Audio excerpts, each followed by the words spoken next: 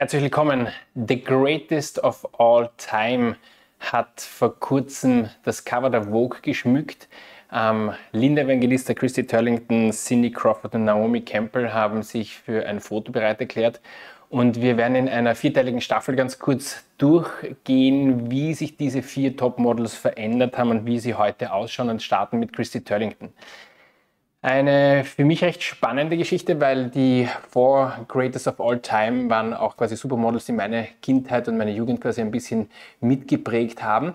Und es sind Frauen, dadurch, dass sie Supermodels waren, die sich vor allem durch ihre Schönheit ausgezeichnet haben. Nicht nur durch ihre Schönheit, weil sie sehr starke Persönlichkeiten waren. Und wie ich mir überlegt habe, das zu machen, habe ich mir auch ähm, überlegt, welche Probleme ich damit erzeugen könnte, wenn man quasi eben jetzt diese Frauen nur auf ihre Schönheit ähm, wieder runterbricht. Und sind sie älter geworden, sind sie nicht älter geworden? Christy Turlington ist 54 Jahre alt und natürlich schaut sie nicht so aus wie früher. Und was ich damit eigentlich bezwecken will, will ich damit ähm, äh, mit dem Finger drauf zeigen und sagen, wie nicht mehr schön sie ist oder wie sie gealtert ist oder was möchte ich zeigen? Möchte ich meine Kompetenz zeigen, dass ich analysieren kann, was denn alles gemacht wurde? Ähm, ich glaube, gerade in der heutigen Zeit, wo wir sehr auf das Äußere und auf das Optische alle reagieren und das vielleicht als einer der wichtigsten Dinge sehen, ähm, sollten wir auch ein bisschen manchmal darüber nachdenken, ob das wirklich alles ist. Ich kann mit Chrissy Turlington nicht selber sprechen, ich kann auch nicht darüber reden, ob sie eine Familie hat und wie gut es ihrer Familie geht, sondern wir können nur das Optische beurteilen. Und das Optische beurteilen bei diesen vier unterschiedlichen macht, hat, macht mir, glaube ich, Spaß, weil sie sehr unterschiedlich gealtert sind und unterschiedlich ausschauen in ihrem Alter. Aber genug gequatscht, starten wir mit ähm, Christy Turlington äh, rein und schauen uns an, wie sie früher ausgeschaut hat. Das sind alles Fotos, die natürlich in einem gewissen perfekten Zustand erzeugt wurden. Das heißt, viele Stunden Make-up, viele Stunden Haare machen und viele tausende Stunden Fitnesscenter und eine gute Genetik haben halt auch dazu geführt, dass diese Frauen die Laufstiege dieser Welt ähm, bezaubert haben. Und das Interessante ist, dass wir ähm, das Ganze zu, vielleicht zu einer Zeit war, wenn wir uns die, die Mundpartie anschauen, wo vielleicht Fillerspritzen noch gar nicht so modern waren, wie es heute war. Ich glaube, heute haben das, ähm, das eine oder andere Supermodel vielleicht schwer, nicht in den Topf der ästhetischen Medizin hineinzugreifen, sondern einfach in der Natur sein zu lassen. Und diese vier waren sicherlich außergewöhnlich hübsch von ihrer Figur, von ihrem Aussehen, von ihrem Auftreten und extrem starke Persönlichkeiten.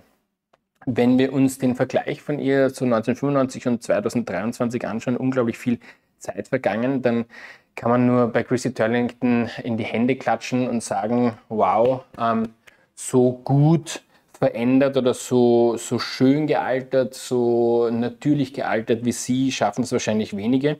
Was wir sehen 1995, ich sage es nochmal, quasi war, glaube ich, Lippenunterspritzen noch nicht wirklich so die Riesensache und sie hat einfach von Natur aus, glaube ich, extrem schöne Lippen, extrem schöne Konturen gehabt, eine extrem schöne V-Form, eine Nase, die vielleicht operiert, vielleicht nicht operiert war, aber sicherlich extrem proportional dazu gepasst hat. Und was sie auch hatte, und das ist, glaube ich, ganz wichtig immer, sie hatte eine Grundasymmetrie im Gesicht, die im Alter auch noch ein bisschen da ist. Die Grundasymmetrie sehen wir bei den Nasenflügeln, wir sehen es bei der Position der Augen, wir sehen es bei der Position der Augenbraue.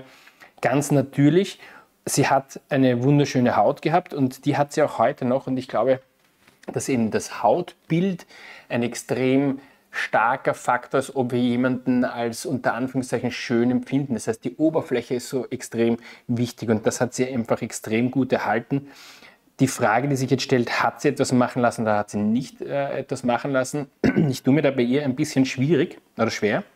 Ähm, sicherlich ist der Unterschied zwischen dem einen und dem anderen Bild, dass sie bei dem einen lächelt, bei dem anderen nicht lächelt. Und wenn wir, wenn wir lächeln, dann ziehen wir ja mit verschiedenen Strukturen, Muskeln und Bandapparaten das Gewebe ein bisschen nach oben und machen unsere Backen ein bisschen voller und schauen nicht so leer aus, wie wir vielleicht normalerweise ausschauen, wenn wir nicht lachen. Und das ist sicherlich auch reicht zum Vorteil hier. Die natürliche Faltenbildung, die sie hat, die entsteht eben deswegen, weil wir in unserem Gewebe elastische Fasern, Kollagenfasern verlieren und dieser Verlust der Fasern dazu führt, dass unsere Haut ein bisschen mehr knittert und das ist in meinen Augen auch extrem okay. Ich könnte bei ihr, muss ich ehrlich sagen, relativ wenig sagen, was sich verändert hat. Das, was mir auffällt, ist, dass die Jawline, das heißt der Abstand von dem Kieferwinkel, eigentlich ein bisschen stärker geworden ist, was dafür spricht, dass vielleicht ein bisschen in den Topf von dermalen Fillern gegriffen wurde. Dermale Filler gibt es prinzipiell Hyaluronsäure und andere dermale Filler, die auch Kollagen stimulierende Wirkung zeigen. Botulinumtoxin hat sie vielleicht gehabt, vielleicht hätte sie noch ein bisschen mehr machen können, weil eben die Zornesfalte, die dadurch entsteht, dass die Muskeln hier zusammengeschoben werden, einfach eine statische Zornesfalte schon ist, darf man die mit 54 haben. Ja, man kann sie auch mit 34 haben.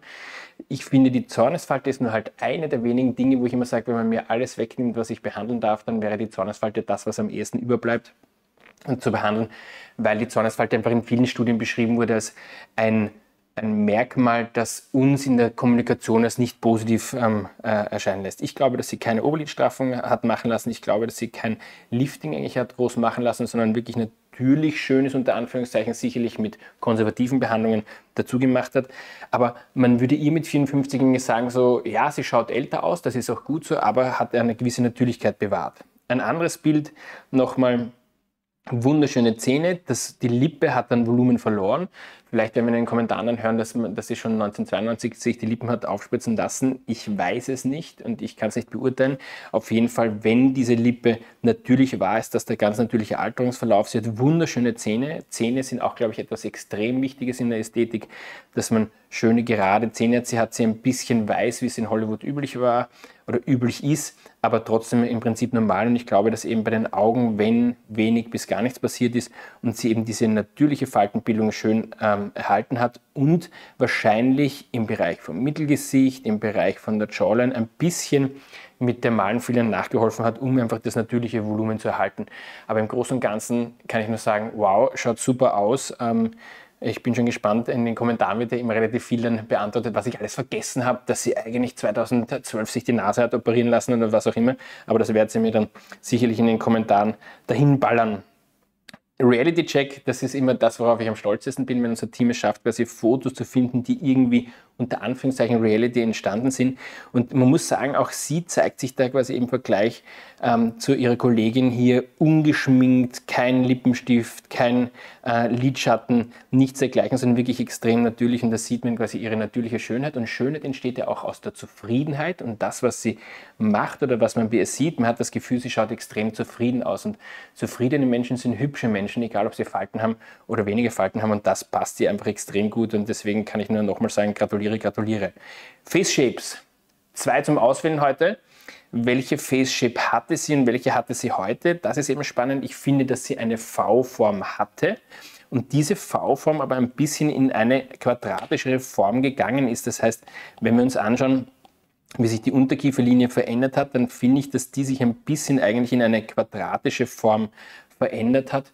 Und diese quadratische Form, das ist für mich der einzige Hinweis, dass vielleicht ein bisschen etwas gefuchst wurde, dass das Gesicht ähm, sehr subtil an Volumen dazu, äh, dazu bekommen hat und das finde ich im Prinzip ist nicht schlecht gemacht.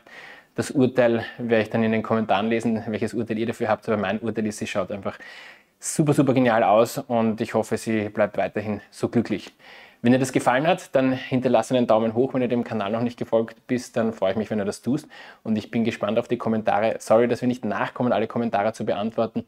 Aber ich freue mich, wie gesagt, wenn wir sie lesen können. Wir werden sie Step by Step auch weiterhin beantworten. In diesem Sinne, danke fürs Zuschauen. Ciao und Baba.